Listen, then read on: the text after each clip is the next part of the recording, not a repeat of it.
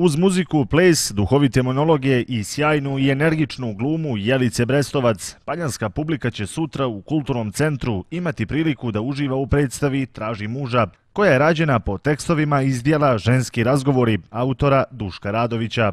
Predstava na duhoviti jedinstven način govori o muško-ženskim odnosima. Glumica Jelica Brestovac, koja u ovoj monodrami tumači sedam ženskih likova, istakla je da će svaka žena u nekom od tih sedam likova pronaći sebe, a da će, kako je navela, svaki muškarac poželjeti da baš on bude onaj muškarac o kojem se u predstavi govori.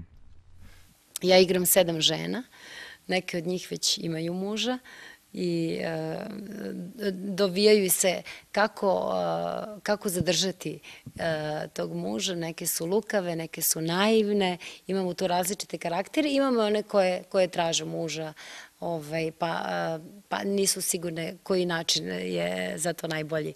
E, u svakom slučaju učestvuje publika, to je ono što daje posebnu draž ovoj predstavi, interaktivna je, dakle, i e, tu se svi na neki način osjećaju kao deo priče.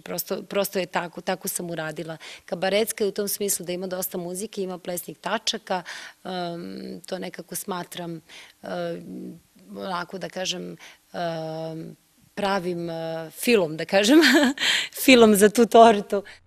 Brestovac je navela da od sutrašnje predstave očekuje prije svega dobru zabavu.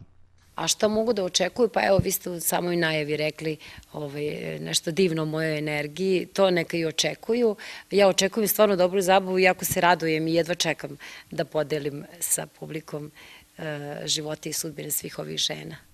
Zabave, smijeha i energije u Kulturnom centru Pale sutra, 6. marta od 20 časova, neće nedostajati. Za to će se pobrinuti Jelica Brestovac igrajući monodramu Traži muža.